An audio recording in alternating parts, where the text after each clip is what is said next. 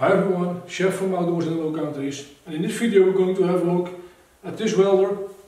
It's a welder from Oerlikon, the Citosteel 325C Pro.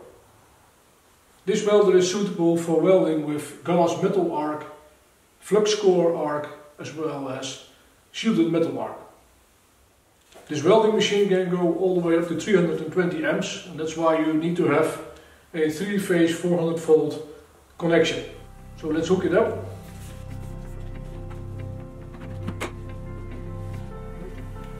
The MIG needs to be connected with a Euro connector. The earth clamp as well as the MMA torch needs to be connected with a 13 mm connection. So let's start up the system.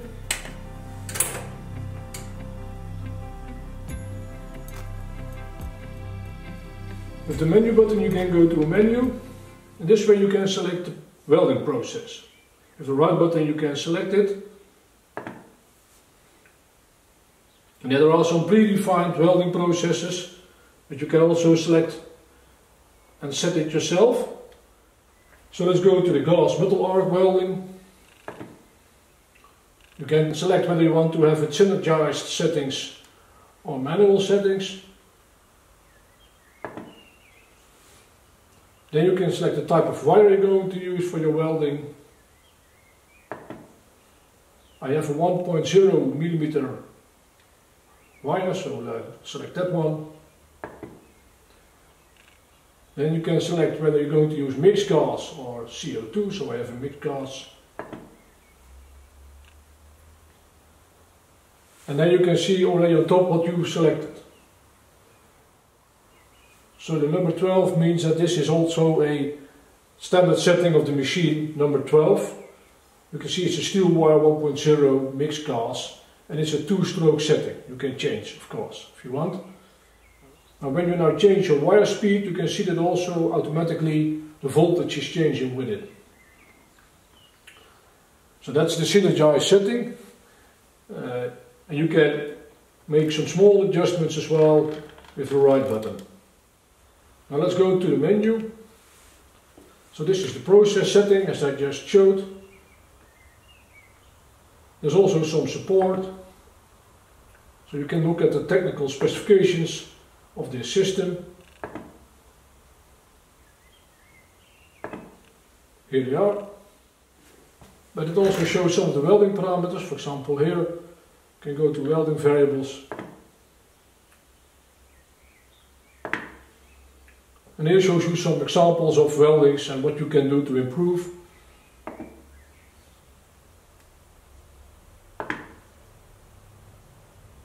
The same for shielded metal arc welding.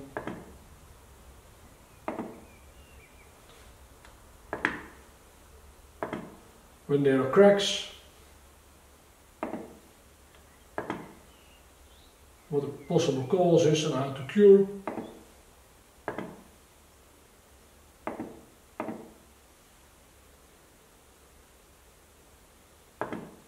Explains how the gas metal arc welding process, uh, what the parameters are.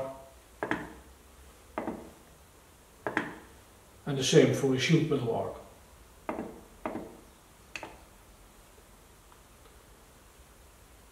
Here you can select whether you want to have a pinch or not.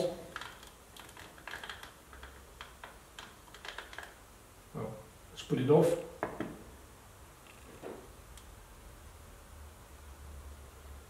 Here you can select whether you want two-stroke or four-stroke. Pre-flow. Let's put it on auto, but this for now. Post-flow.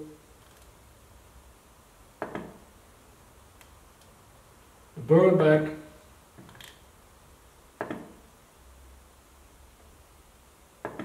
Spot weld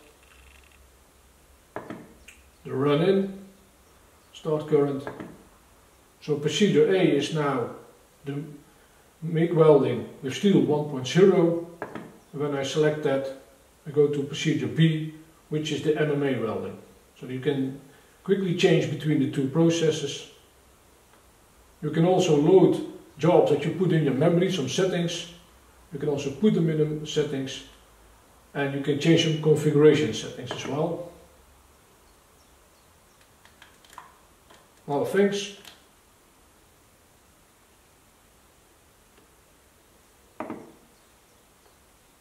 And in the user setup you can also change what type of variables you want to change. For example here the pre-flow is uh, one of the parameters I can set. If I don't want it for this setting, for this user to be changed, then you can uh, take them out of your menu.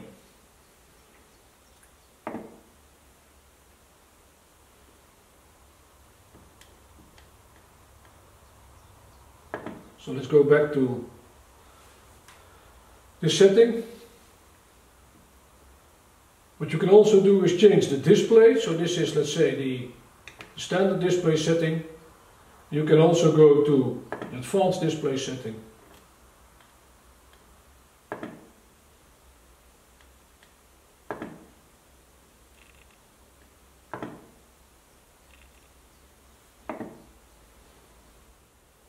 So what it now does, it also shows you the current thickness setting of the material according to the setting. Now you can change the left knob to change the setting, so you can go from 0.6 with 35 amps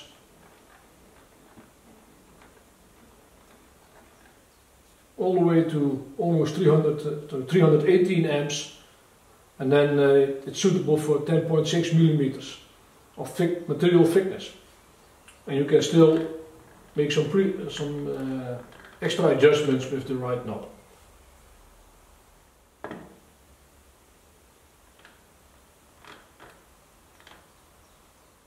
There's also a USB connection available at the side where you can log your welding parameters or update software, things like that. There's a transparent window where you can see how much wire there's still on. And it's even there are even some LEDs, so you can have a very good look. Here on the top is the USB connection. And there's also a switch to uh, manually switch the feed of the wire. It's standard delivered with 1.0 and you can swap them and then you have 1.2 millimeter uh, V-shape for your wire. So there are two wire diameter standard that you can use with this system. And they are color coded as you can see over here. 1.0 is red, 1.2 is orange. So with this wider type of closure, you can take the wheel out, turn it around, and then it's suitable for 1.2 millimeters. And you can change the pressure of the wheels with those red setting screws. At this moment there's a 1.0 millimeter steel wire, 15 kilograms, installed in the system.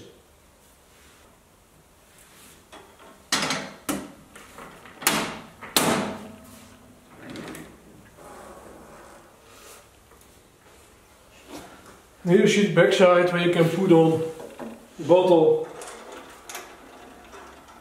secure it with the chain and to connect your gas. Standard this system comes with this earth clamp, but I like the old fashioned earth clamp so they changed it into this one, which I prefer. Now for this machine I also bought this MIG torch with the Euro connector and this is the TBI 360 Expert Plus.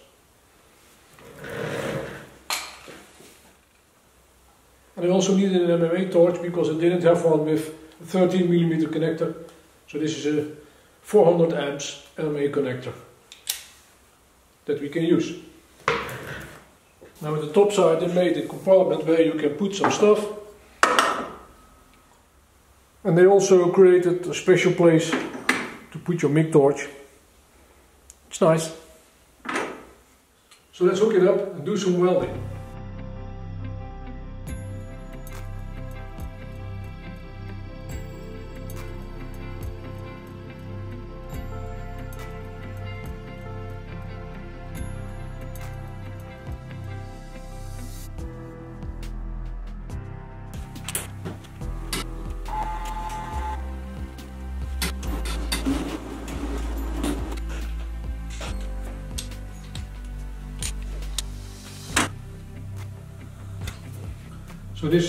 5% argon, 15% CO2.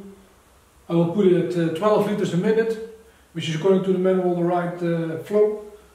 And I can use the flow, the, the plastic switch over here to have the flow running.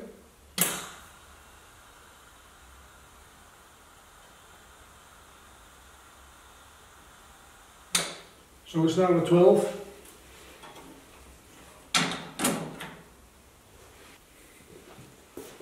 Has argon in red and CO2 in black.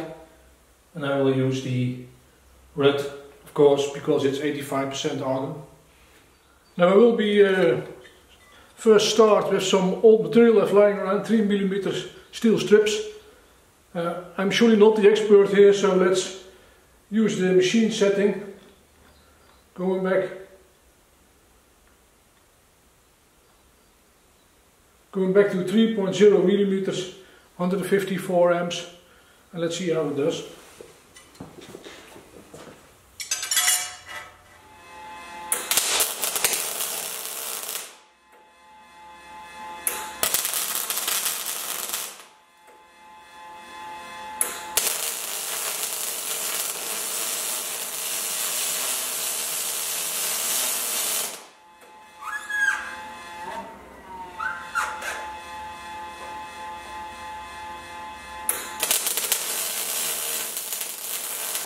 Now I had some contact issues at the first part, but uh, the second part is quite nice.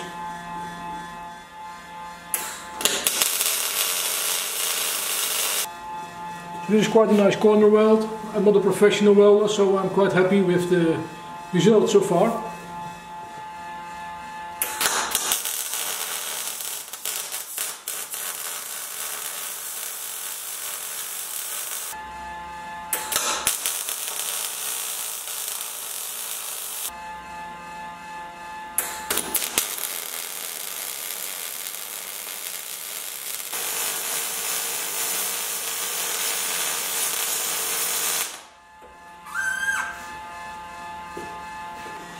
So on purpose I now changed a little bit uh, welding speed, so this is a little bit too fast.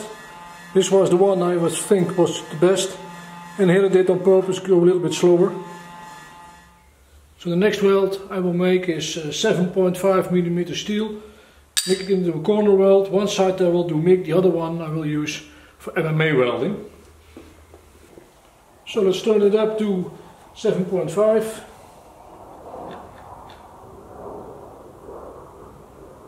Here we go.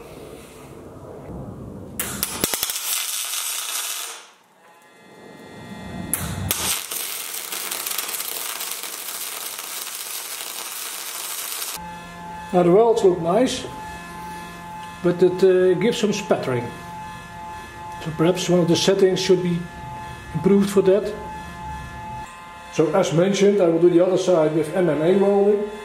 So uh, let's uh, connect the torch. So let's go to MMA welding. I can do it via process and then select shield metal arc welding. What I can also do is go to my second welding. Now it's already there. Now it's a 3.2 millimeter rutile normal electrode. According to the manufacturer it should be 110 amps, so let's uh, put it at 110. Okay. Let's go. The way, this uh, machine on MMA welding, you can uh, select whether you want to have arc force. This moment it's off. And you can also have a hot start selected and uh, change the value. I have it currently at default settings. So let's see what it does.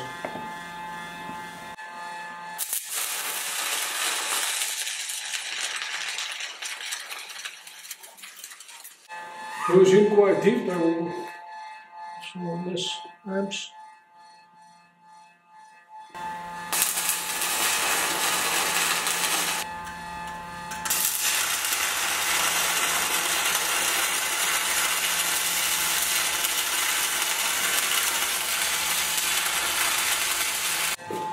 Do you, do you see the results? 110 amps, 95 amps, 125 amps. So uh, this was already quite low according to uh, what I saw. So I went a little bit back and this is then even a little bit higher. Looking at the weld I think a little bit less high amps is better. The first time I'm welding with MMA on such a strong system and I really need to see what welds best, really get to, to know the hang of this system. Now let's also do a test with some really thick material we have here. This is uh, 15 millimeters. It's even thicker than the system can have. But nevertheless we're going to test it because sometimes in some of my projects I use it. It's a uh, galvanized steel so I cleaned it a little bit. And then I'm going to weld this side with MIG. And the other side also will lead a part of it with the MMA. Well, let's see.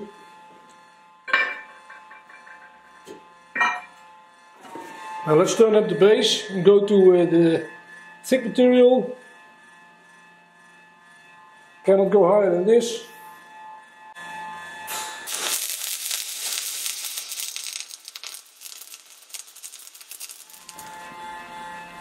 Now this is uh, quite impressive.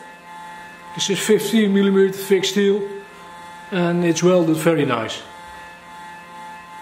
Uh, without any spattering, very nice weld.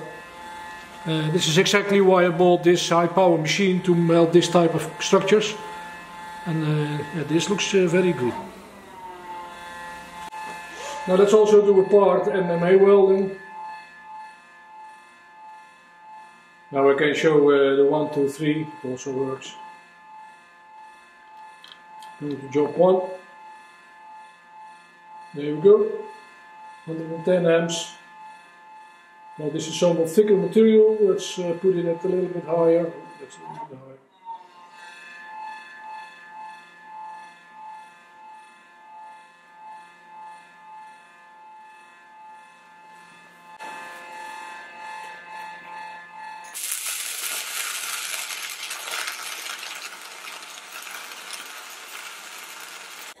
Doesn't look good at all. Let's make a second run, trying to uh, swipe it. Getting it uh,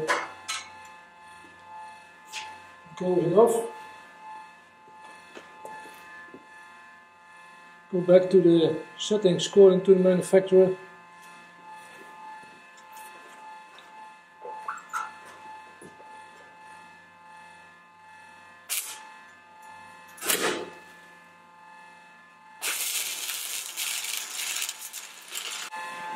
So let's now go back to the MIG.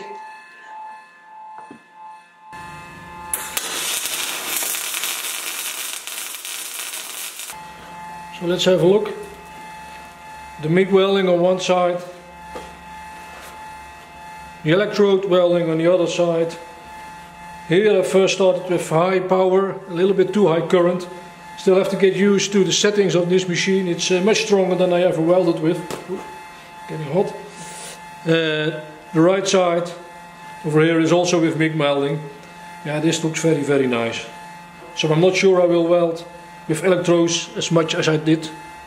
Because, uh, yeah, with such a strong MIG welding, it's uh, so much easier and very nice weld.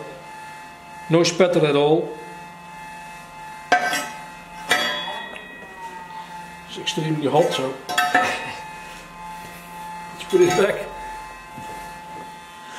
So, I like this uh, welding machine. It's a strong welding machine, as you can see, 15 millimeters MIG welding, no problem at all. What I did in the past was uh, using MIG especially for thinner materials and for some stronger materials I tend to use electrode welding. Well, looking at these results I think that's something from the past and I expect that I will use MIG welding now for 99% of my, uh, of my projects. I've never worked with such a strong system before, I had a much lighter weld up to now. I'm very impressed. Also, the stability of the wire is, is better than I used to. Of course, it's the advantage of the four rolls having a much stabler uh, drive. I also like this interface. Uh, for somebody like me who is not a professional welder, it helps a lot in uh, getting a first clue of where you have to be. So that's, uh, that's also a very nice thing. So I like the machine. If there's one thing I don't like, it's the noise of the fan.